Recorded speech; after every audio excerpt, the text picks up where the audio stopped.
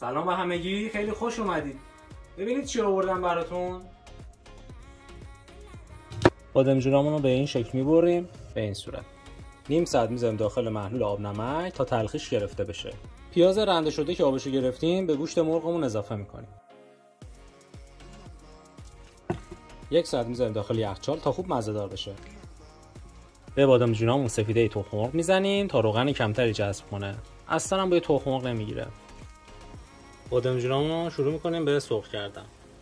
مقداری از گوشتمون رو روی بادمجونا قرار میدیم. به این صورت شروع می‌کنیم به رول کردن. پیاز.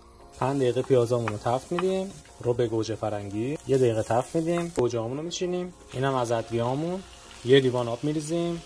حالا رولای بادمجون رو بشیم داخل سس. با شعله کم. 30 دقیقه دیگه آماده میشه.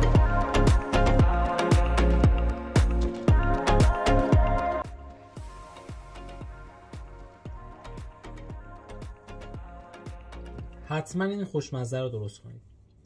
عالیه.